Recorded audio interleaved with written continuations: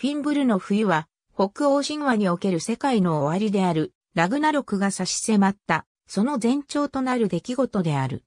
フィンブルベト、または、フィンブルベトル、フィムブルベトとも呼ばれる。スノーリの言った第一部、ギュルビタブラカシ、第51章によると、フィンブルの冬は、夏が少しも間に挟まれることなく3度の冬が続き、しかもあらゆる方向から雪が吹きつける。この間に数えきれない戦乱があり、兄弟同士が殺し合う。窃盗時フィンブルは大いなる大きなを意味する。したがって、この適切な訳語は大いなる冬である。